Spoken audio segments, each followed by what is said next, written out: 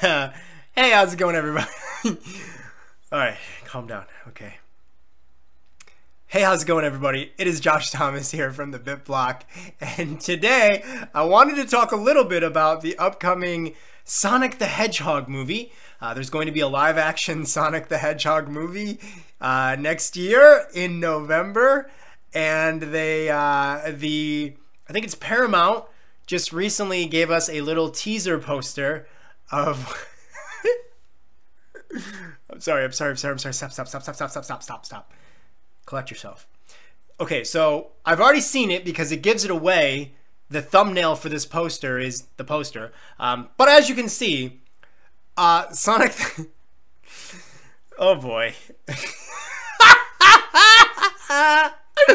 Sonic the Hedgehog looks a little different than what we're used to seeing.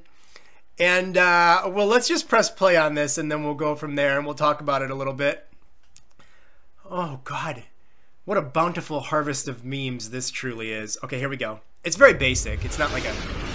It's, the blue blur. Here he goes. The rings. Oh, it's Sonic the Hedgehog. What? Okay. There's many things we need to we need to talk about with what's wrong with this. First of all, that ain't Sonic. That ain't Sonic the Hedgehog.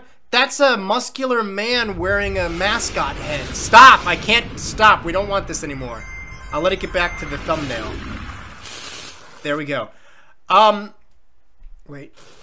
This is weird because he has the body of a muscular man, but then it looks like he's wearing a giant mascot head of Sonic the Hedgehog.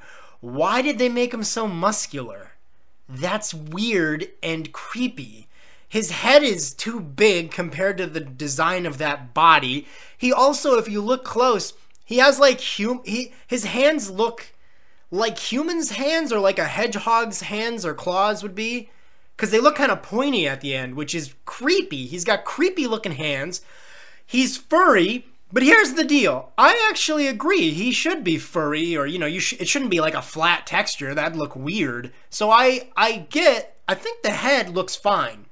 If I do this with my eyes, that looks fine. Nothing wrong with that so far. When I do this and I cover up the head, I don't know what I'm looking at. That's just like a bobsledding team or something. Uh, so yeah, that's terrible, uh, terrifying. Uh, I just combined the word terrifying and terrible to make terrible. And I think that is a good way of describing what we're looking at here. This is terrible. Um, logo looks fine. Another thing I want to point out is why are his shoes so different? His shoes look like generic Payless shoes. They look like the type of shoes that some old lady who's like 75 years old, who's trying to still be kind of hip, would wear. They look like weird orthopedic uh, New Balance shoes or something that he got at Payless. Why do they look so stupid? And why are they so big? They look so big compared to his little body. But his body's little, but not little.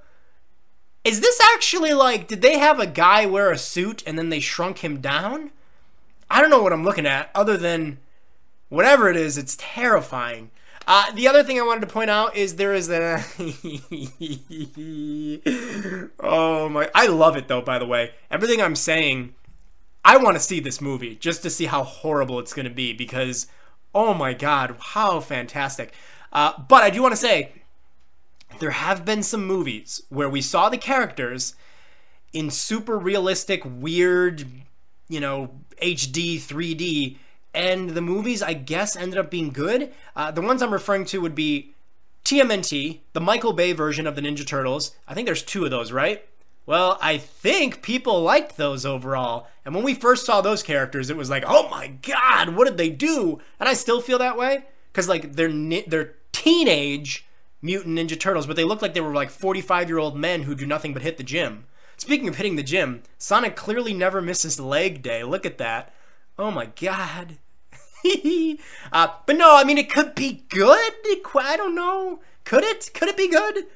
Is it fair to judge it just based on this? I think it is, actually. That looks terrifying. I think they got everything they could have possibly gotten wrong about that. Um, But then also uh, Transformers, none of those really look like the actual Transformers from the movie or from the TV show or the toys. They look very super detailed and stuff. So it feels like this is just falling in line with the Michael Bay version of Turtles and Transformers. Michael Bay has nothing to do with this though. Says it's from the producer of The Fast and the Furious, which really makes me laugh. First of all, I don't think producers really do much. So I don't know if that really means anything. But uh, it is funny how they're like, we're making a Sonic movie. Ah, who do we get to work on it? Who else has worked on movies with fast things? It seems so stupid. Um, but I think we need to look at this final teaser poster here.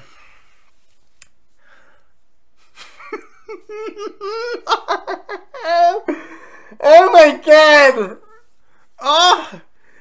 It's a thing of beauty and horror. I like the little thing that says Sonic was here at the bottom. Oh my lord.